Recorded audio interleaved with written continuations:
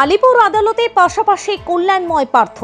একটু ঝুঁকে কি মন্ত্র দিলেন প্রাক্তন মন্ত্রী? আদালতে দুই প্রভাবশালী সাক্ষাৎ ঘিরে তুঙ্গে কৌতূহল। আমি রামকৃষ্ণ মিশনের ছাত্র, এমবিএ ডক্টরেট।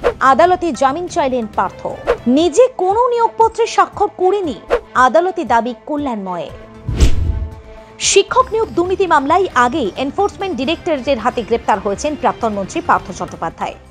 বৃহস্পতিবার মধ্যশিক্ষা পর্ষদের প্রাক্তন সভাপতি কল্যাণময় গঙ্গোপাধ্যায়কে গ্রেপ্তার করে কেন্দ্রীয় তদন্তকারী সংস্থা সিবিআই। নিজাম প্যালেসে টানা ছ ঘণ্টা জিজ্ঞাসাবাদের পর গ্রেপ্তার করা হয় তাকে। শুক্রবার আগে আদালতে তোলা হয়েছে মধ্যশিক্ষা পর্ষদের প্রাক্তন সভাপতিকে। দুপুর বারোটা নাগাদ প্রেসিডেন্সি জেল থেকে আলিপুর আদালতে হাজির করানো হয় প্রাক্তন মন্ত্রী পার্থ চট্টোপাধ্যায়কে। এসএসসি নিয়োগ দুর্নীতি মামলায় পার্থ এবং কল্যাণময় দুজনকে হেফাজতে নিতে চাইছে সিবিআই। এদিকে এদিন আদালতে পাশাপাশি বসেছিলেন পার্থ এবং কল্যাণময়। হঠাৎ দেখা গেল, খানিকটা ঝুঁকে কল্যাণময়কে কিছু একটা বলছেন পার্থ। কি মন্ত্র দিলেন প্রাক্তন মন্ত্রী?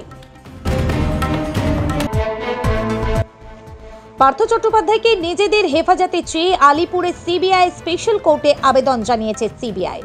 তাকে হেফাজতে পেলে কল্যাণময়ের মুখোমুখি বসিয়ে এবার জেরা করতে চায় কেন্দ্রীয় গোয়েন্দারা।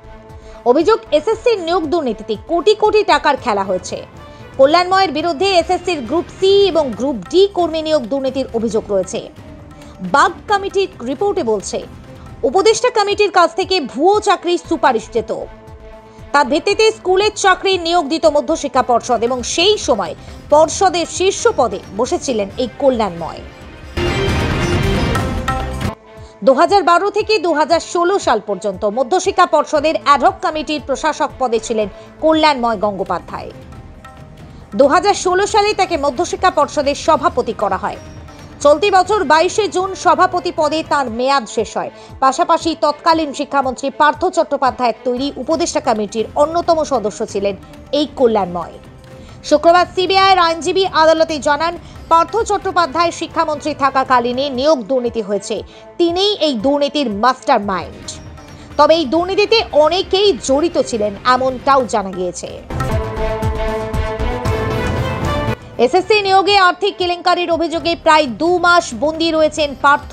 ইডির হেফাজতে থেকে আপাতত তার ঠিকানা প্রেসিডেন্সি জেল।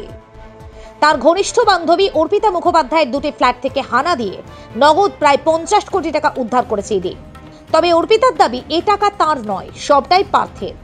এদিকে ইতিমধ্যে একাধিকবার জামিনের আবেদন করেছেন পার্থ, কিন্তু প্রতিবারই তা খারিজ হয়ে গিয়েছে। উল্টে তাকে হেফাজতে রাখতে চেয়েছে এবার সিবিআই। এরই মধ্যে গ্রেপ্তার হন কল্যাণময়। শুক্রবার তিনি আদালতে বলেন এসএসসি স্বশাসিত সংস্থা।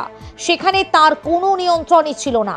তার স্ক্যান করা সই ব্যবহার করা হয়েছে। নিজে কোনো নিয়োগপত্রে সই করেননি কল্যাণময়। এদিকে শুক্রবার আদালতে পেশ করা হলে পার্থ জানান, তিনি আঠাশটি ওষুধ খান, খুবই অসুস্থ তিনি। তাকে জামিন দেওয়া হোক। তৃণমূল বিধায়ক আরও জানান, আমি রামকৃষ্ণ মিশনের ছাত্র। এমবিএ ডক্টরেট করেছি।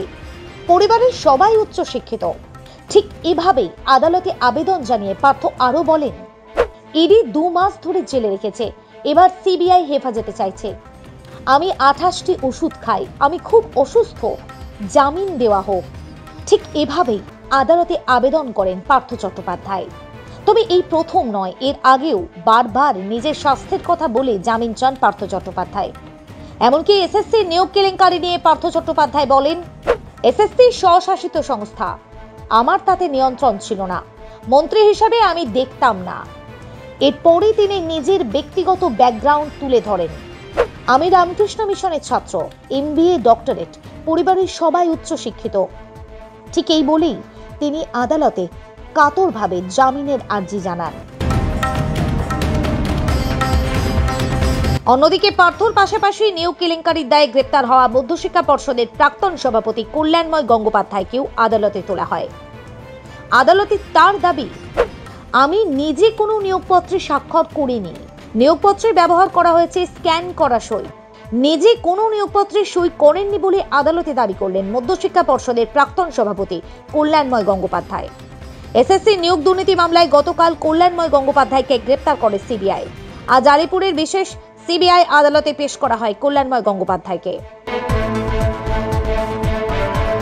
তবে ইডির দাবি, তদন্ত যে পর্যায়ে রয়েছে, তাতে এই মুহূর্তে পার্থ চট্টোপাধ্যায়কে জামিন দেওয়া হলেই তদন্ত প্রক্রিয়া ব্যাহত হতে পারে।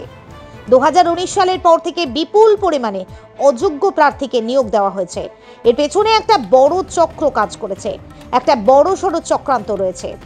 আর যার মাথায় ছিলেন পার্থ চট্টোপাধ্যায়। তদন্তের স্বার্থে কল্যাণময়কেও হেফাজতে নেওয়া প্রয়োজন এমনটাই আদালতে জানায় কেন্দ্রীয় এজেন্সি। প্রতিবেদন লেখা পর্যন্ত আদালতের কোনো নির্দেশ পাওয়া যায়নি। আজ বিকেল।